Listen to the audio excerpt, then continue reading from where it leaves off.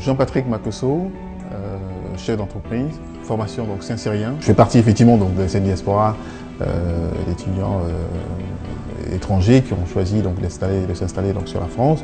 Donc mes activités sont en France, mes bureaux sont à Paris, etc. Même si je me déplace beaucoup sur les autres activités à l'international.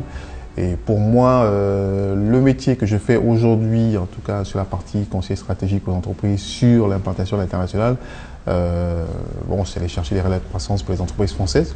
80% de mes clients sont des, grosses boîtes françaises. C'est un peu rendre un petit peu à ce que la France m'a donné. Donc, euh, j'ai voilà, été formé ici, etc. Et puis, euh, voilà, de faire un peu ce, pont-là entre les entreprises françaises, les entreprises africaines, etc. Donc, c'est un peu, je joue sur cette bipolarité culturelle. Parce que je considère aujourd'hui, je suis français, je suis naturalisé français, donc j'ai la double nationalité, gabonaise et française.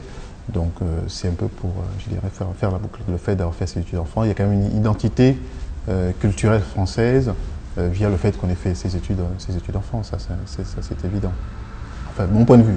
être en contact avec les, autres étudiants qui sont venus vers leurs études, tout simplement, c'est de leur permettre d'avoir, je dirais, un lien. Bon, pour les personnes qui sont installées comme moi, on peut apporter donc du, conseil, on peut apporter des, de, l'aide, hein, même en matière de, recherche, donc de stage.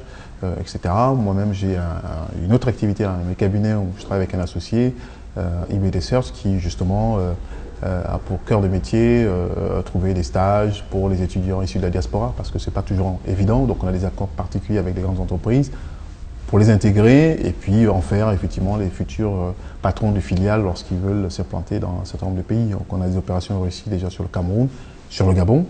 Donc oui, le réseau, il sert nécessairement pour, euh, je dirais, apporter euh, une valeur ajoutée hein, à, l'ensemble des membres du réseau. Je ne pense pas que j'aurais pu faire le même parcours ailleurs.